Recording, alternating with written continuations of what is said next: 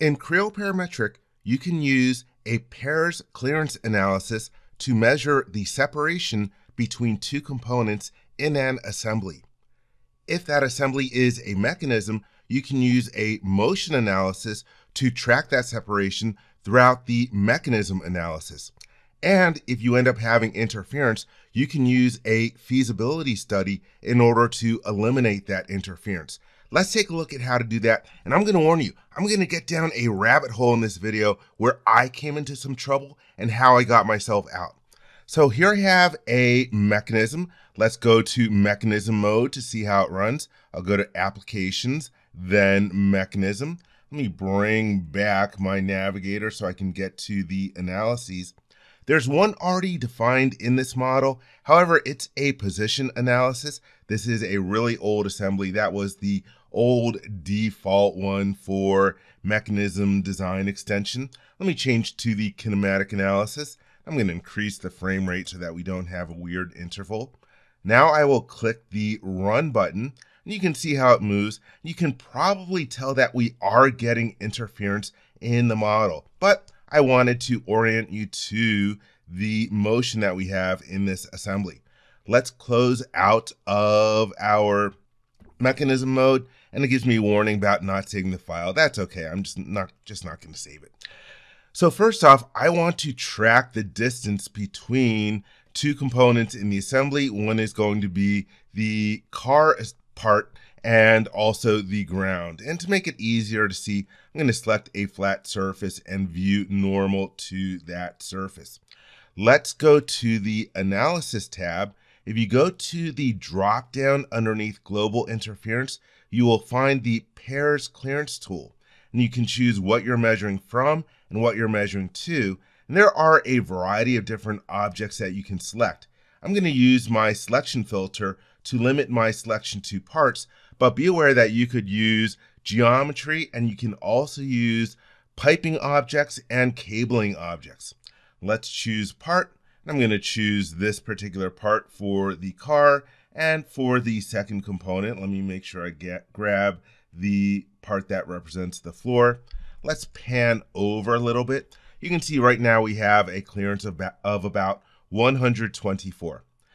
Rather than just clicking the OK button, I'm going to create this as a feature in my model. I'll go to the drop-down list and choose feature. Here's where we can change the name. I'm happy with that as the name. If I go to the feature tab, let me make this a little bit wider so that I can resize the columns. There are three different parameters that you can create. Only one is checked by default, the minimum clearance, and you could also create two datums for the points on the various different entities, but I am happy with just that parameter being created. I will click the OK button, and now the clearance feature is at the bottom of my model tree. If I want to see that separation distance throughout the motion, I'm going to create a datum analysis feature. If we go to the upper left-hand corner on the analysis tab, here is the command for creating a datum analysis feature. And right now we can choose the name of it. The default is analysis one. I'm going to call this separation. And for the type, there are eight different choices available. I'm going to use the radio button for motion analysis. Oops, it wiped out my name. Let me type that again.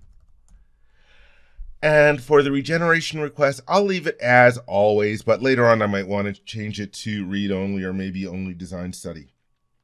Now I will click the next button and this opens up the motion analysis dialog box. Here is where we have the clearance parameter that I just created. For the mechanism analysis, if I had more than one, I could select it from this drop down list. I'm going to use all moving parts.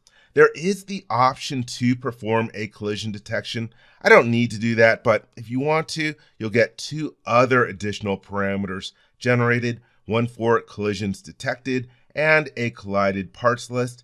There is a button for changing your collision detection settings.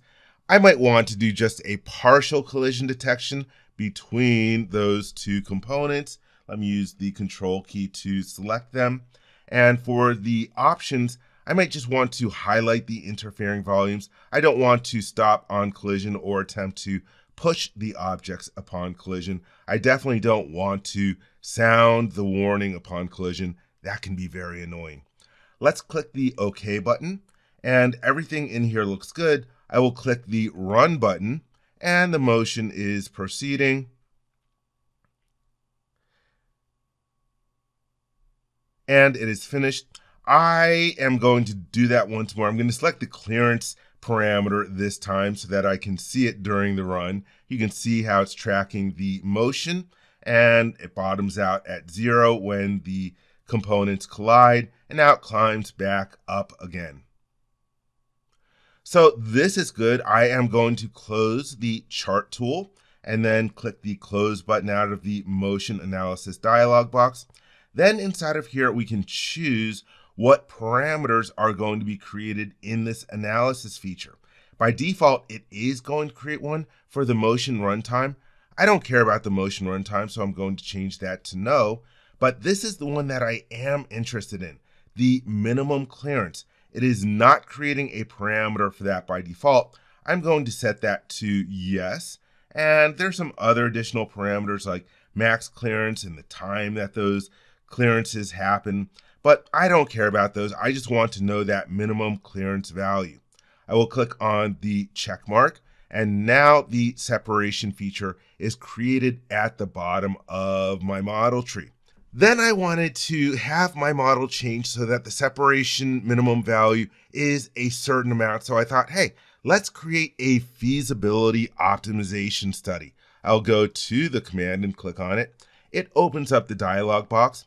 With an optimization study, you can choose to minimize or maximize some other quantity in your model, but I don't need to do that. I don't want to do that in this particular situation. I just want to drive that separation to a particular value. So I'm going to change to feasibility.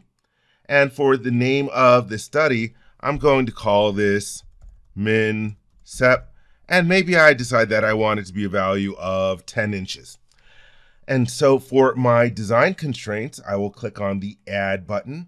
And from the drop down list, I have my two different choices from the datum analysis features I created one for that clearance value, and then for the minimum clearance value that was calculated in the motion analysis. That's the one that I want. And I want to set it to a value of, let's say 10 inches. Maybe that's my requirement, the minimum separation between the amusement park ride and the ground. So I will click the OK button. It adds it to the list. You can have multiple design constraints, but I only want the one. So I'm going to click the cancel button so that it is the only one listed in here. For my design variables, let me add a dimension from the model. I will click on the base part, which drives the height, and it's this particular dimension which is called D12 in the part called base. And it's giving me some default initial values, which are plus and minus 10% of the dimension's initial value. I already know that 80 is too low, so I can set 80 as the minimum value. And then for the maximum value, maybe I want to open up the value a little bit. Now, spoiler alert, this is not going to work. For some reason, this is going to fail. And I tried a whole bunch of different things. So, for example, I went into the, oops, let me hit the enter button and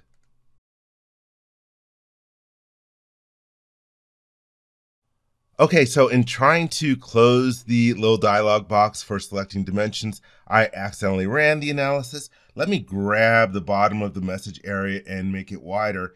You can see that it started optimizing went through two steps, and then gave up. It said, no feasible solution has been found.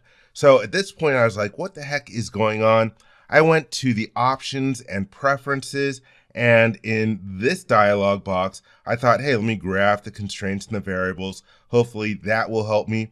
I tried increasing the convergence percentage. I opened it up way up to 10%, but I'm just going to change it to 2% for now and I tried increasing the maximum iterations, but that doesn't matter because it only went two steps. I even tried changing from gradient projection to the MDS algorithm. nothing worked and I could not figure it out.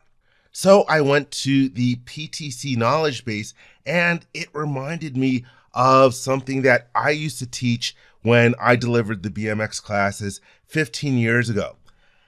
If you are not getting a converged solution, there's a chance that you might be stuck on a local minimum or a local maximum. So it's always a good idea to use a sensitivity analysis in order to figure out a good starting point. So let's close out of the optimization feasibility dialog box. And I'll go to the sensitivity analysis. And I want to figure out how sensitive is that dimension to impacting the value of the minimum clearance. So for my dimension, let me use the pick icon in order to select that height dimension once more. And I'll use the same ranges as before. Let's start with a value of 80 and go to a maximum of 120. For the number of steps, well, I'm going to increase that to 41. The reason I'm using 41 is so that I get it calculated at every whole number between that range. And for the parameters to plot, I will select that minimum clearance created from the separation feature and everything in here looks good. So now let's see what we can learn from the sensitivity analysis.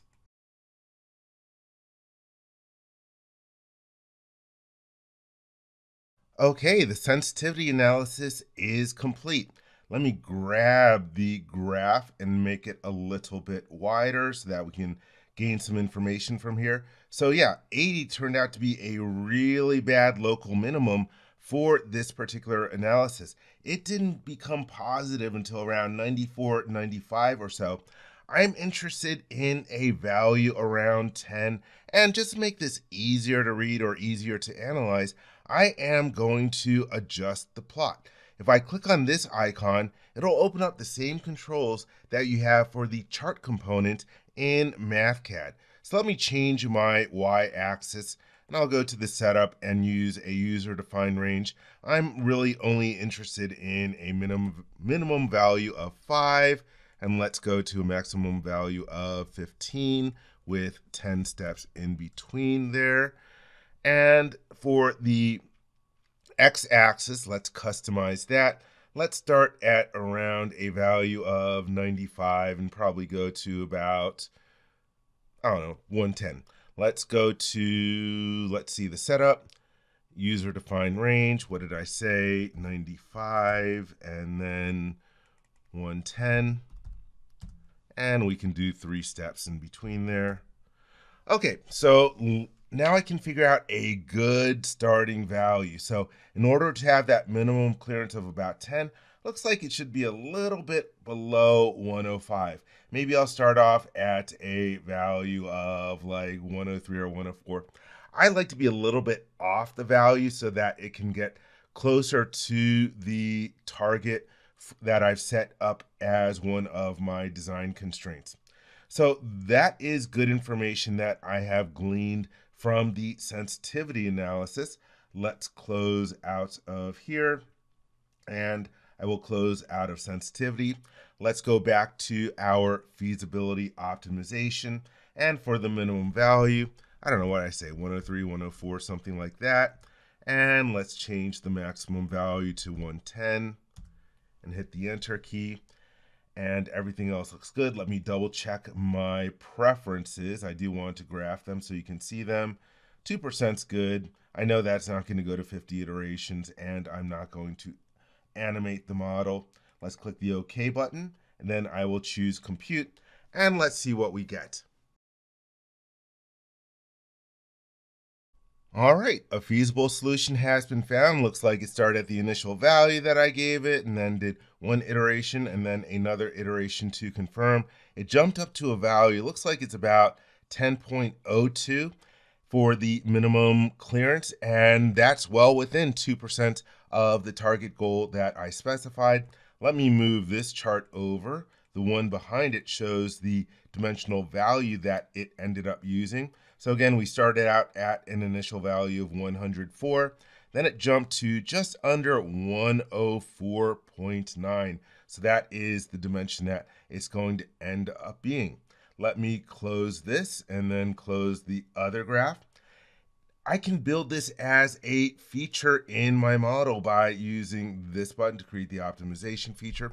Once again, let me change the name to MinSep 10 and I will hit the check mark. Oops, here we can add the name in there, min sep 10. And if I scroll down in my, oh, let me close out of the optimization feasibility dialog box. There we have the feature created in the model. Let me go to that base feature and then show the dimensions. We can see that it has a value of 104.894. So there you have it. That's how you can use a pairs clearance in conjunction with a motion analysis and a sensitivity study to get to a feasibility study.